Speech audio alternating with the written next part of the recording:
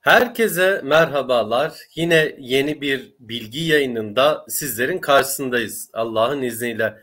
Ee, her söylediğimiz söz faydalı söz e, olsun, boş kelam etmeyelim.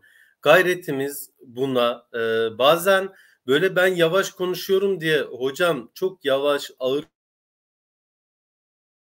konuşuyorsun e, diyenler e, oluyor. Lakin lakin burada her sözümüzü düşünerek e, söylememiz gerekiyor. Yani ağırdan alalım, e, temiz olsun, bizim olsun, faydalı olsun Allah'ın izniyle. Evet hemen e, lafı uzatmadan e, bugünkü size anlatacağım e, konulara hızlı bir şekilde e, geçelim. Evet e, Bursa'da bir vatandaş araç parçaları pahalı olunca e, çözümü PVC kapılarında buldu e, diyor. Yani gerçekten öyle pahalılık var ki yani e, hatta yani geçen yumurta almaya gittim. Yani 15'li yumurta bizim burada 35 lira. Hatta iş arkadaşıyla onu konuşuyordum. Ya diyordum bizim bahçeye de e, böyle bir 8-10 tane tavuk mu alsak? Çünkü onların bahçesinde e, varmış. E, diyor ki e, hocam diyor günde 10 tane yumurta veriyor diyor. Ya düşünün yani e, yumurta bile ne kadar e, böyle e, paha biçilmez. Ve yani hepimiz artık böyle e, kendi kendimize imal edebilecek hani çok fazla böyle e, para alışverişi yapmayacak böyle icatlar e, aramaya başladık. Esasında hepimiz üretmemiz gerekiyor. Yani hepimiz. Yani e, işte tavuğumuz olması gerekiyor. Yani eskiden köylerde ineği varmış, şuyu varmış, buyu varmış. Sütü, kaymağı, peyniri. Yani e, herkes bunları kendisi temin ediyormuş. Ekmeğini bile kendi yaparmış. Ya bugün mesela Ankara Belediyesi, e, Ankara Belediyesi olması lazım. E, ekmeğe zam yapmış. Yani neticede e, ekmek bile gerçekten e, şu anda fiyat olarak ateş pahası.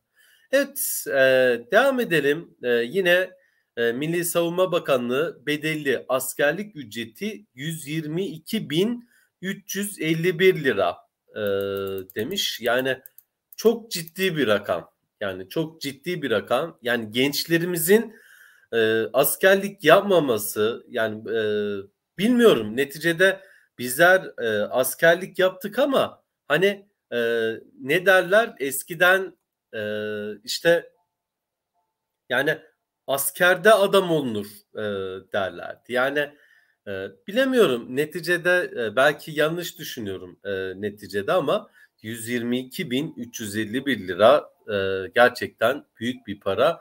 Ben olsam gençlerimizin yerine giderim e, Çakı gibi 6 ay askerliğimi yapar gelirim. Yani 6 ayda size 122.351 lira kim verir arkadaşlar? Yani e, gidin 6 ay askerliğinizi yapın. Akabinde gelin babanız o 300 e, pardon 122 bin lirayı size versin. E, yani e, gidin iş kurun yani neticede.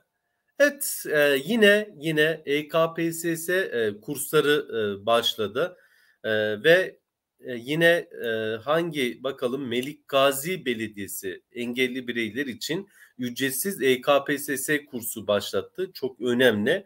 E, bu kurs ve ben e, bu belediyelerimizi çok tebrik ediyorum. Bütün EKPSS'ye hazırlanan engelli bireylere de sesleniyorum. Yani şimdiden e, belediyelere dilekçe verin, e, halk eğitimlere dilekçe verin. Yani size yönelik kurs açılsın. Bakın bunu çok yıl sonuna bırakmayın e, arkadaşlar. Melik Gazi Belediye'mizi de e, tebrik ediyoruz. Evet şimdi e, sosyalyardımlar.com Türkiye'nin hemen hemen e, yani genel olarak bütün belediyelerini içeren e, belediye yardımları diye e, bölümü var. Hangi belediye hangi yardımı yapıyor? Mesela Bingöl Belediyesi hangi yardım yapıyor? Burdur Belediyesi hangi yardım yapıyor? Çukurova, Kars, Kilis, Kırıkkale, e, Kırıkkale e, Tokat, Uşak, Karabük hepsi var. Yani e, ben e, sosyalyardımlar.com e, internet sitemizin de e, linkini videonun açıklama kısmını koyacağım. Belediye yardımlarından da mutlaka ve mutlaka faydalanın. Evet yine e, güzel, e, ilginç bulduğum e, sorulardan e, birisi. Mesela savcılığa suç duyurusunu geri çekme mümkün mü? Nasıl yapılır e, diye sormuş. E, yani bir forumda e, denk geldim. Yani savcılığa suç duyurusunda bulunduğunuzda geri çekilir mi e, bu? E, evet, e, karakoldan şikayetten vazgeçilebilir. E, ancak suç şikayete tabi bir suç değilse savcılık soruşturmaya devam eder. Yani e, toplumda yüz kızartıcıysa, kamuoyuna zarar veren bir durumsa savcılık soruşturmaya devam eder e, diyor e, cevapta. Önemli. E, yine yeniden işe başladığınızda e, gazi aylıkları kesilmiyor e, ve ölen anne ve babamdan yetim aylığı alabilir miyim? Ee, annem 2015, babam ise bu Mart ayında vefat etti. İkisi de SSK emeklisiydi. Eşimden boşandım. Hiçbir sosyal güvencem yok. Çalışmıyorum. Hem annemden hem babamdan yetim aylığı alabilir miyim? Evet, bekar, dul ve boşanmış kız çocuklarından çalışmayan ve kendi sigortalılığı nedeniyle gelir aylık almayanlar ölen anne ve babalarından dolayı ölüm aylığına hak kazanır. Evet tekrar söylüyorum. Bekar, dul ve boşanmış kız çocuklarından bakın kız çocukları e, çalışmayan ve kendi sigortalılığı nedeniyle gelir aylığı olmayan ölen anne babalarından dolayı ölüm aylığına hak kazanır. Bu koşullara sahip olmanız nedeniyle talepte bulunmanız halinde hem annenizden ve hem babanızdan tarafınıza ölüm aylığı bağlanır. Ancak bu aylıklardan yüksek olanı tamdan e, diğer yarımdan ödenir. Diğeri yarımdan ödenir. Evet e, yine güzel e, konularla sizlerin karşısındaydık e, Allah'ın izniyle. Bizlerin böyle e, dile getirmesini istediğiniz e, konular olursa mutlaka ve mutlaka e, bu videonun e, açıklama kısmına yazın. Ben KPSS'ye hazırlanan tüm gençlerimize yine tekrar tekrar sesleniyorum. Normal KPSS sınavına da girin. Normal KPSS sınavından girdiğinizde yine engelli kadrosuna geçip devlet memuru olarak vazifenize başlarsınız Allah'ın izniyle. Evet, başka söyleyeceğim bir şey var mı? E, Engelsiz Medya TV Instagram hesabımızı takip edin.